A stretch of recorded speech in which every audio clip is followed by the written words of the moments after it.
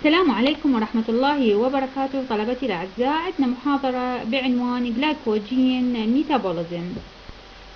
Glycogen is the major storage carbohydrate in animals corresponding to starch in plants. إحنا قلنا الجلايكوجين هو يعتبر ال storage in animals قبل ال plant بال plant هو عندنا ال starch. يعني جلايكوجين هو مجموعة من الجلوكوز مرتبط بالأواصر ألفا 14 and alpha 16 linkage Its branch polymer of D glucose نوع الأيزومر هو D and muscle glycogen is readily available sources of glucose for glycolysis within the muscle itself الجلايكوجين المخزون بال liver ينطي طاقة فقط لل muscle آه وليس للجسم كله بينما الجلايكوجين المخزون بال liver يعطينا طاقة ATP for all the body. okay uh, to maintain blood glucose between meals. طبعا after 12 to 18 hours of fasting بعد uh, uh, 12 إلى 18 ساعة المفروض هو الجلايكوجين المخزون بال liver depleted. لأنه كله متأيض لذلك ال patient اللي يجي للمختبرات نقول له تعال ورا 12 ساعة عم نقيس نسبة ال fasting glucose.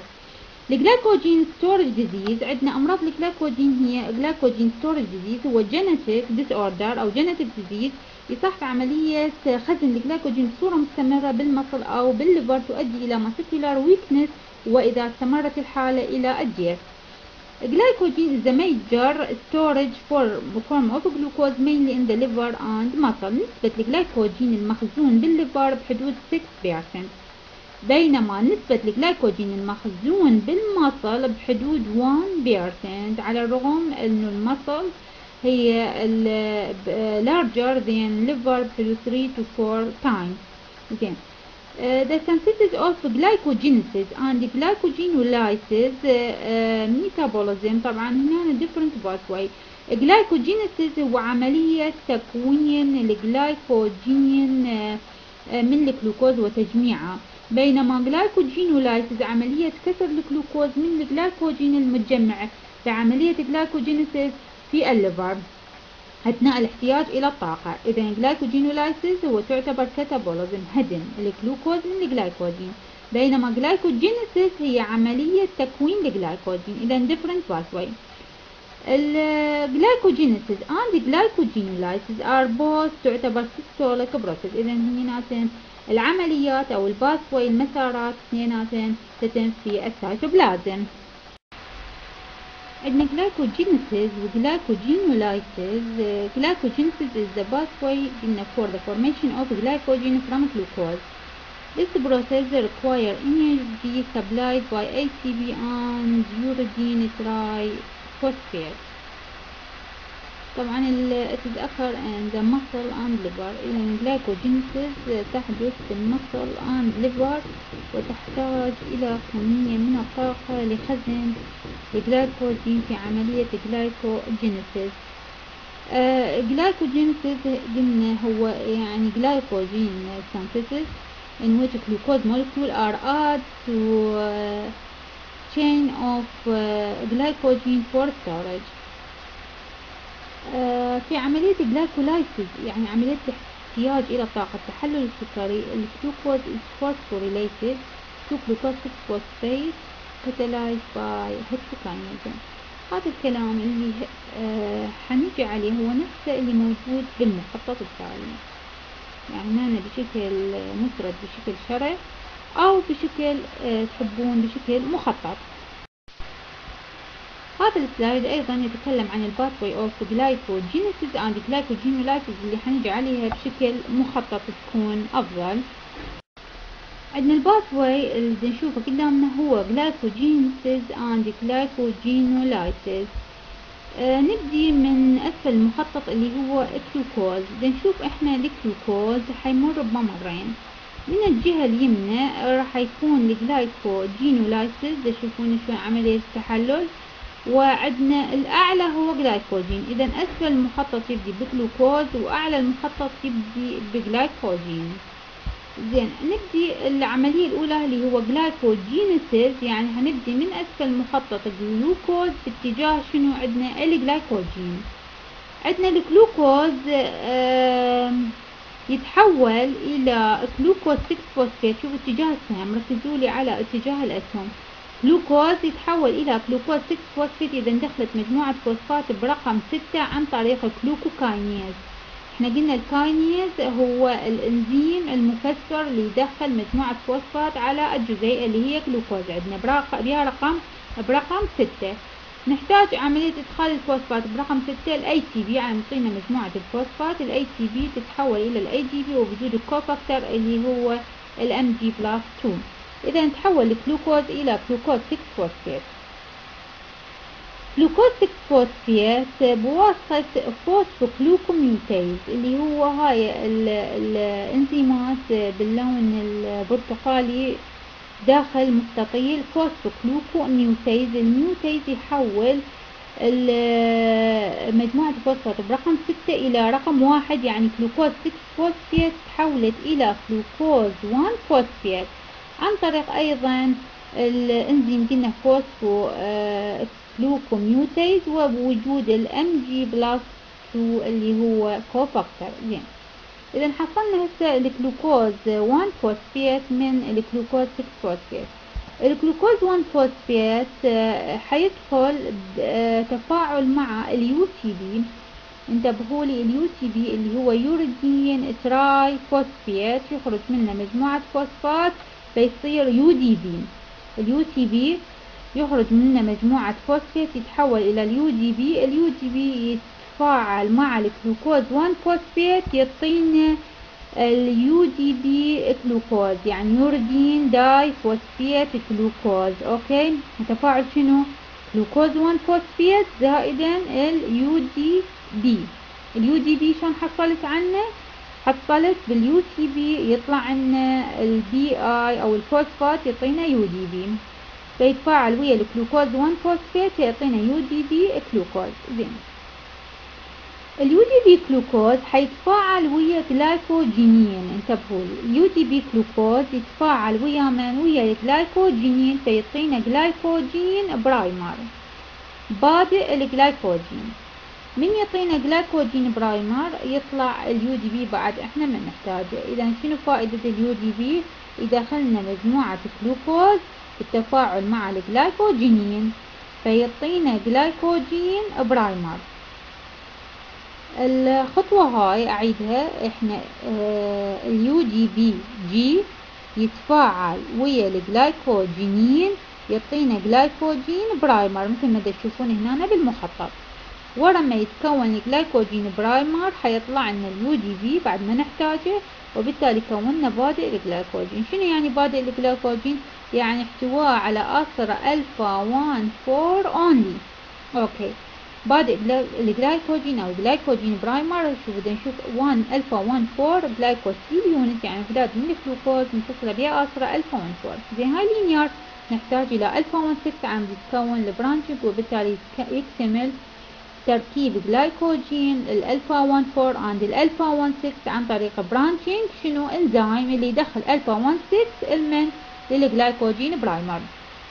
هنا بهاي الحالة بس مجرد دخول branching enzyme دخلت الآخرة ألفا 1 6 فبالتالي كونا ألفا 1 4 عند ألفا 1 6 glucosyl unit إذا تكون عندنا الجلايكوجين. linear bond اللي هي ألفا 1 4 وعندنا ال branching bond اللي هي ألفا 1 6 كون الجلايكوجين هذا المخطط يعتبر نصف مخطط ال pathway هي عملية تكوين glycogenesis من الجلوكوز مرورا إلى الجلايكوجين هاي الإنزيمات طبعا جدا مهمة هاي تحفظ بالخطوات المتسلسلة.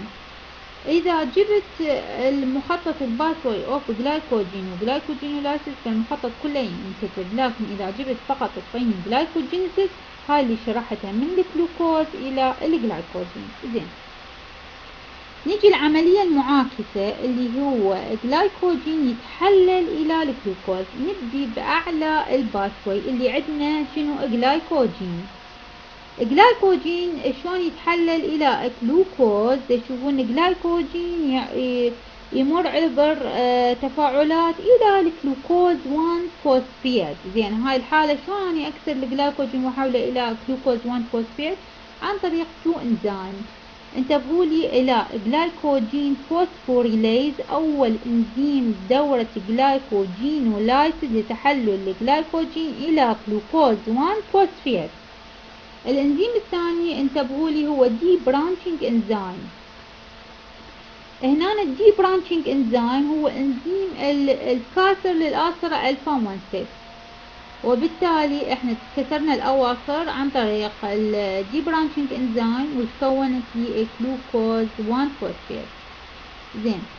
جلوكوز 1 فوسفيت عن طريق ال mutase أو ال phosphoglucomutase يتحول جلوكوز 1 فوسفيت إلى جلوكوز 6 فوسفيت طبعا هنا reversible بدنا نشوف ال reaction جلوكوز 6 فوسفيت يتحول إلى الجلوكوز اللي هو أسفل مخطط آخر جزيء الجلوكوز عن طريق شنو؟ 6 phosphatase يعني ال phosphatase هو يزيل مجموعة الفوسفات من الجلوكوز يتحول إلى free glucose.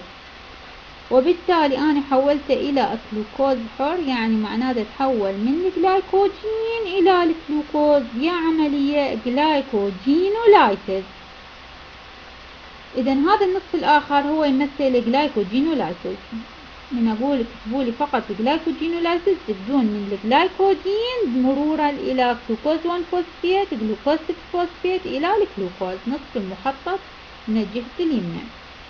glycogenesis بالعكس النصف الآخر من الجهة اليسرى يعني تبدون من الجلوكوز تسوي أني anabolism بناء يتحول إلى جلايكوجين أما ال glycogen catabolism إلى الجلوكوز تسمى العملية ب glycogenolysis إذا عمليتين تعتبر different pathways عملية معاكسة إلى الأخرى ال regulation of glycogenesis عملية تنظيم هذا المسار glycogenesis يعني تكوين الجلايكوجين عن طريق الانزيم ال synthase اللي استشفناه إحنا بالمخطط ال synthase أو glycogen synthase هذا الإنزيم اللي يعتبر regulator enzyme of glycogenesis.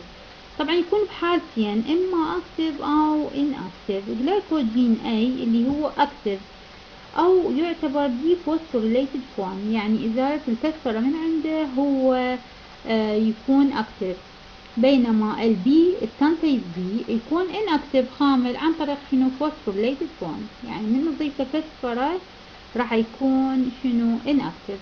إذا تنتبهوا لي هاي الخطوة إنه ال glycogen synthase هو المسؤول عن ال regulator of glycogenesis ال glycogen synthase يكون بحالتين إما active أو inactive. ال active إزالة الفسفرة من عنده يكون active بينما بعملية الفسفرة يقول يكون inactive. ال active يسمى A والinactive يسمى B. اذا هذا المسار اللي آه، يكون يشرح عملية regulation glycogenesis. آه، نبدي بالجلوكوكون الجلوكوكون هو طبعا هنا طلاب يخربطون بيه بينه وبين الجلايكوجين الجلوكوكون هو هرمون يفرز من الأيسيال من البنكرياس وهو يعمل عكس عمل إنزيم الإنسولين يتواجد بال liver. أما ال epinephrine أيضا هرمون يفرز من آه، يفرز من ال adrenal gland تواجد بالمصل وال liver. هاي الهرمون يعني ال glucagon وال epinephrine يعملان عكس الإنسولين يعني يزيدن نسبة الجلوكوز بالدم. زين. بإشارة من ال glucagon وال epinephrine يحولن الإنزيم ال adenylate cyclase من النوع ال inactive إلى النوع ال active okay؟ يعني هنا inactive adenylate cyclase تحول إلى active adenylate cyclase وبالتالي هذا ال adenylate cyclase صار active عن طريق ال signal of hormones اللي هو glucagon وال epinephrine ال adenylate cyclase ولما يتحول active راح يحول لنا ال ATP اللي هو adenosine triphosphate يتحول إلى adenosine monophosphate يعني ال adenylate cyclase هيسوي لنا degradation لل ATP إلى ال AMP إذا حصلت آه، من ال إلى آه، هذه الخطوة اللي هو تكوين ال AMP منين من ال adenylate cyclase ومن ال glucagon وال epinephrine اللي حفزت إن هذا الإنزيم على تكوين ال cAMP زين. ال cAMP بدوره إيش راح يسوي لنا؟ نكمل الخطوات ونرجع على الخطوة الجانبية. ال cAMP من تكون يعطين طبعا هاي الإشارة الموجبة تشوفوها يعني activation of reaction. Activate of reaction. يعني هنا هنا دا يعطي activation element. ال cAMP من آه، يتحفز يعطينا activation لل protein kinase يحوله من inactive إلى ال kinase ال active ليه حول ال kinase ال active عندي يدخل مجموعة فوسفات المن إلى glycogen synthase تشوفون هنا حولنا ال kinase إلى active ال kinase ال active بواسطة هاي الإشارة الموجبة على بواسطة phosphorylation حيعطيني ال active glycogen synthase A. إلى inactive glycogen synthase B. شلون تحول ال glycogen synthase A من ال active إلى ال inactive بواسطة إضافة مجموعات فوسفات أو ال phosphorylation وبالتالي من أني أكون glycogen synthase inactive يعني سويت inhibition of glycogenesis. إذا هذه إشارة سالبة على السهم يعني سوينا inhibition أو توقف عملية glycogenesis وبالتالي عن طريق AMP المتكون أنا وقفت وسط يا انزيم اللي سوينا له inhibition glycogen synthase زين. عندنا الخطوة الجانبية نرجع لها اللي هو بي يتحول اي ام بي لو نستمر بصورة أفقية عندنا الفوسفوداي استرايز هذا الإنزيم يتحفز بواسطة الإنسولين. بنشوف الإنسولين موجب يعطينا الفوسفوداي استرايز يعطينا اكتف فيتحول الاي ام بي إلى أي من اكتف إلى ان اكتف أوكي انتبهوا لي. اذا اي ام بي يتحول إلى ان اكتف عن طريق شنو؟ الإنسولين. وبالتالي هنا عمل الإنسولين حيكون معاكس لعمل الهرمونات ال glucagon وال epinephrine. ال glucagon وال epinephrine مثل ما شفناها بالمخطط إنه تزيد من ال activate of شنو ال AMP بينما الإنسولين تقلل من ال activation وبالتالي سويت لنا اياه inactive يعني سويت لنا اياه خامل وعكس عمل الهرمونات اللي هي المذكورة Regulation of glycogenolysis. عملية تنظيم glycogenolysis تتم بواسطة يا أنزيم ال phosphorylase هو الأنزيم الرئيسي المسؤول عن تنظيم glycogenolysis. أيضا ال phosphorylase حيكون بحالتين phosphorylase A يعني active يعني phosphorylated form.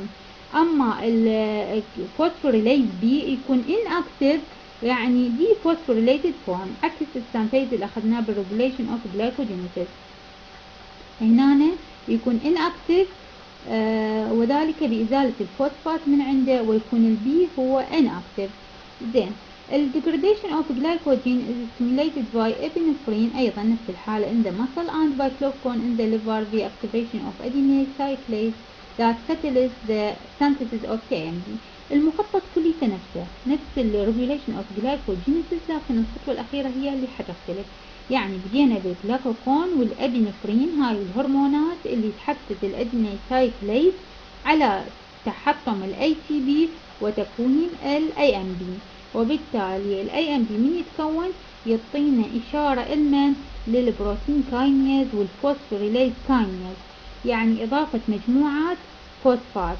شوفوا هاي هذه الخطوة عندنا بواسطة ال phosphorylation عندنا آه، خطوتين phosphorylation أول وحدة هنا تتحول ال phosphorylase kinase inactive إلى phosphorylase kinase ال active وبالتالي يتحول glycogen phosphorylase B inactive إلى glycogen phosphorylase A active بواسطة شنو ال phosphorylation؟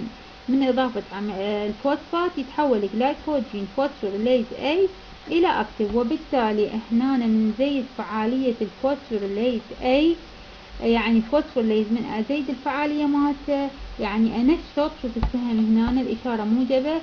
دلالة على تنشيط فيها آه، دورة. تنشيط دورة glycogenolysis لأنه أنا نشطت ال phosphorylase هو الإنزيم المسؤول عن تكسر الجلايكوجين عن طريق glycogenolysis Gluconeogenesis Gluconeogenesis is the term used to include all pathways responsible for converting non-carbohydrate precursor to glucose or glycogen. يعني gluconeogenesis هذه الدورة تشمل تحويل جميع المواد اللي هي non كربوهيدراتية مثل البروتين وال lipid يعني amino acid وال fatty acid إلى الجلوكوز في حال عدم توفر الجلوكوز. أهم الأعضاء اللي تعمل فيها جلوكونيوجينيسيس هي الليفر والكدني إذا الليفر والكدني هو ال major gluconeogenic tissues ال gluconeogenesis مفيدة جدا آه، لأنه إذا لم تحدث داخل الجسم تؤدي إلى hypoglycemia في حالة آه، not available of carbohydrate from diet. And glycogen uh, in the liver was depleted فبالتالي هنا عندنا إذا استمرت ال hypoglycemia ممكن يؤدي إلى ال brain dysfunction which can lead to coma and death. ال major substrate اللي تشتغل فيها ال gluconeogenesis هي قلنا ال amino acid ال pyruvate ال lactate glycerol and propionate طبعا الكليسيرول مثل ما شرحنا سابقا إنه متكون من ال triglyceride عندما يتحلل إلى glycerol fatty acid. فال glycerol هو produced by the adipose tissue and also ال propionate هو ال major قلنا substrate gluconeogenesis هو clear the lactate from uh, that form from uh, glycolysis in the skeletal بال muscle الجسم يحتاج إلى طاقة كبيرة جدا نتيجة الحركة. فال glycolysis تتم بسرعة فبالتالي هنا تتكون كمية من ال pyruvate اللي يتحول إلى شنو عندنا؟ إلى ال lactate ولكن ما تدخل دورة Krebs أو TCA وذلك لل deficiency of oxygen يعني hypoxia عندنا بال muscle. فما تتكون دورة Krebs إذا عملية glycolysis تنتهي عند ال pyruvate اللي يتحول إلى ال lactate فيصير عندنا مرور الوقت accumulation of lactate for large amount. هاي إذا استمر عملية ال lactate بال بال muscle تؤدي إلى ال weakness وممكن تؤدي إلى ال death فبالتالي gluconeogenesis هو يخلص الجسم من ال lactate المتراكم في ال muscle إلى الجلوكوز اللي هو مهم جدا لإنتاج الطاقة. أهم التسميات اللي gluconeogenesis هي Cori cycle and lactic acid cycle. يعني for example of gluconeogenesis pathway هي عندنا ال Cori cycle and lactic acid cycle اللي حناخدها in the figure عندنا ال two pathway of gluconeogenesis عندنا ال Cori cycle and glucose alanine cycle.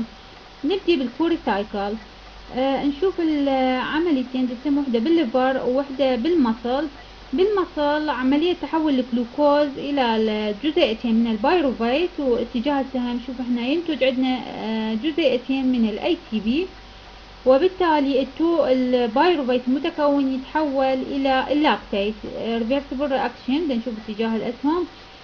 two lactate عبر ال blood stream تروح للل liver هنا بال liver هي عملية ال gluconeogenesis ال liver هنا عملية ال gluconeogenesis فنشوف ال two lactate المتكونة بال muscle. آه، ترجع لنا هنا بال liver عبر ال blood stream تتحول إلى 2 pyruvate وتحتاج إلى 6 جزيء 6 molecule of ATP لإنتاج آه، الجلوكوز.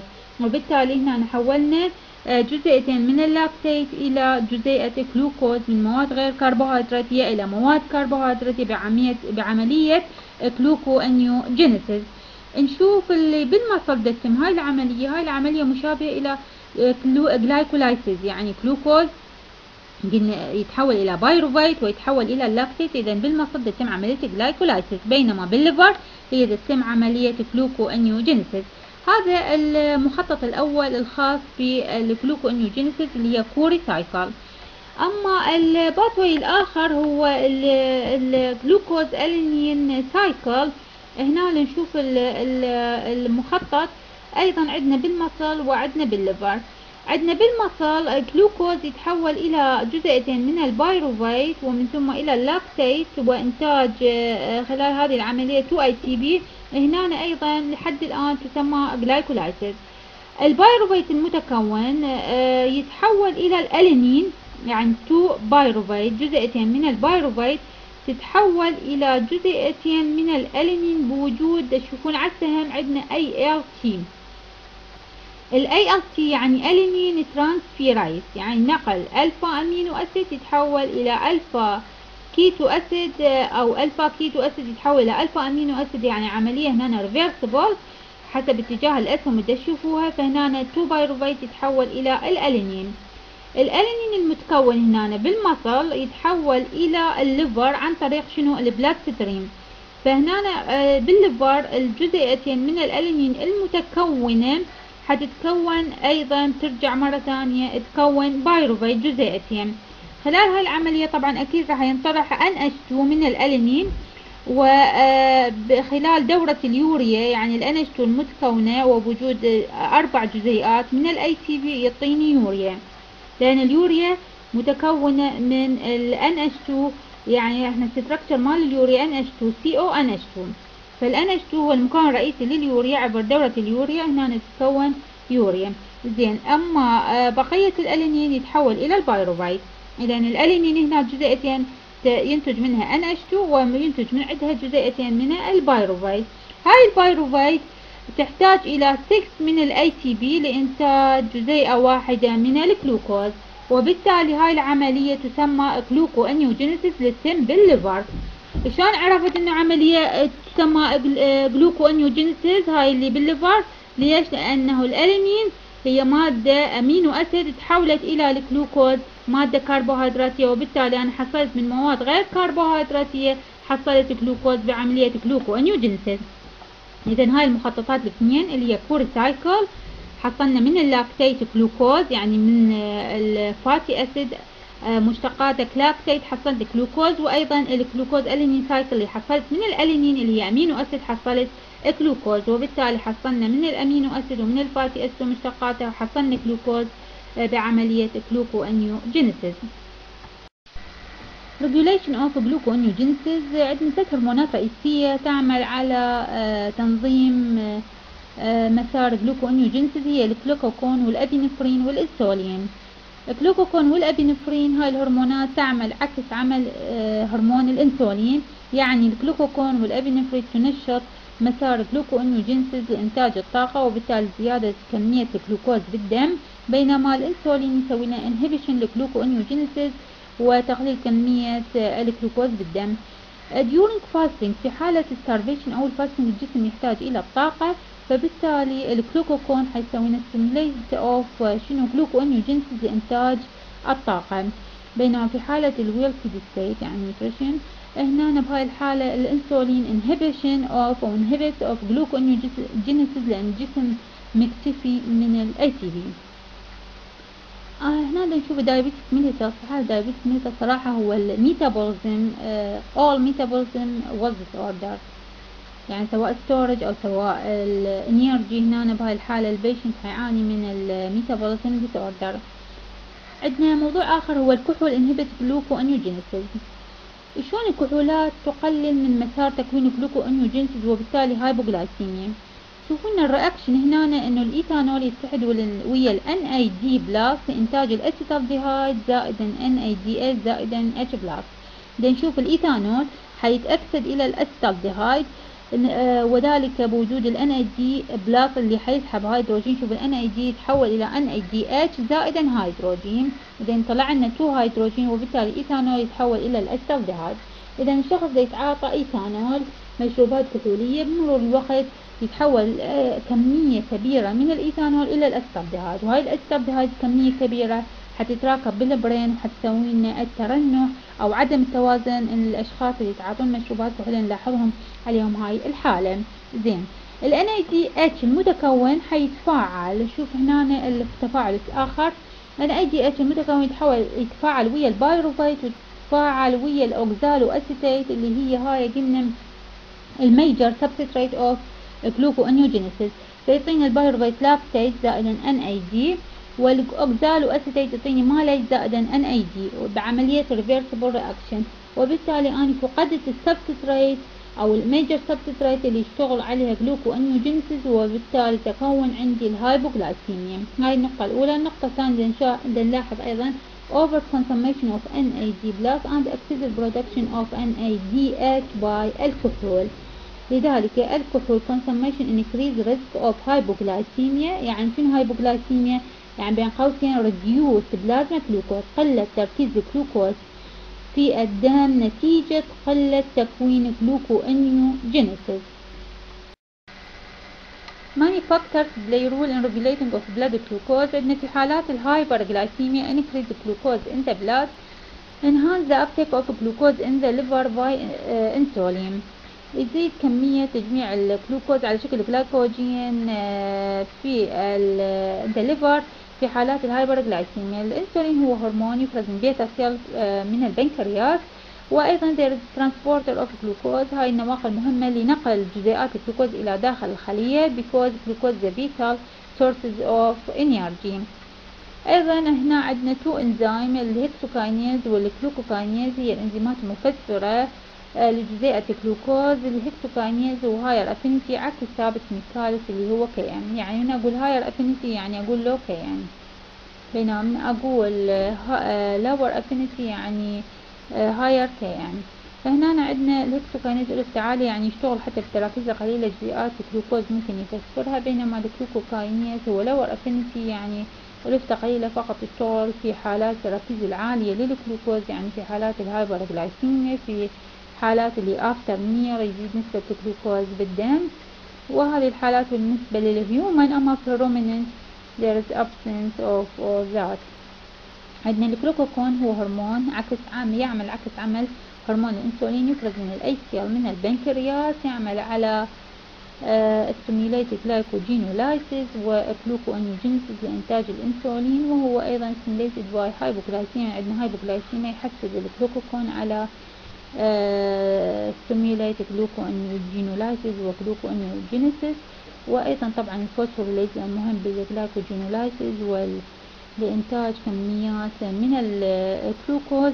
فيعتبر act via generation of cAMP cAMP هي محفز لهذه الدورات.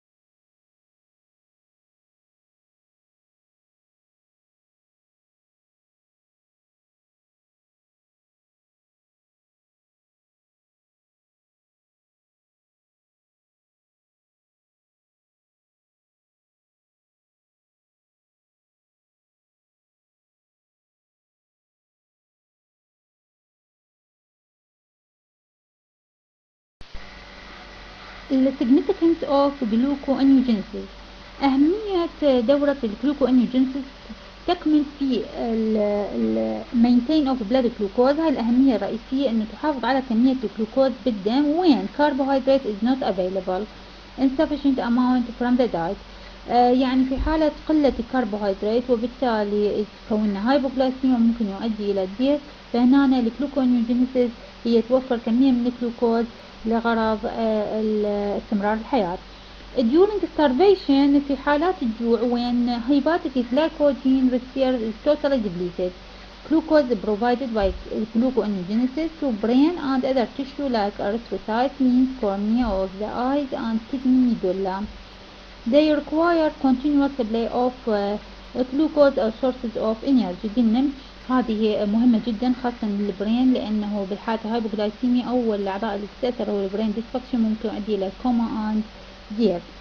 Gluconeogenesis هو product of other uh, tissue يعني ال lactate المتكون بال muscle قلنا by glycolysis هنا نتخلص منه عن طريق ال gluconeogenesis بتحويله إلى جلوكوز الكليترول المتكون بال adipose tissue أيضا نتخلص منه عن طريق ال gluconeogenesis ال propionyl CoA اللي يتكون من أكثر ال odd number of fatty acid هنا هاي كليتها ال lactate وال glycerol وال propionyl CoA هو ال major substrate of gluconeogenesis اللي نستفاد من عندها تحويلها non carbohydrate إلى جلوكوز وبالتالي نخلص other tissue from accumulate these materials.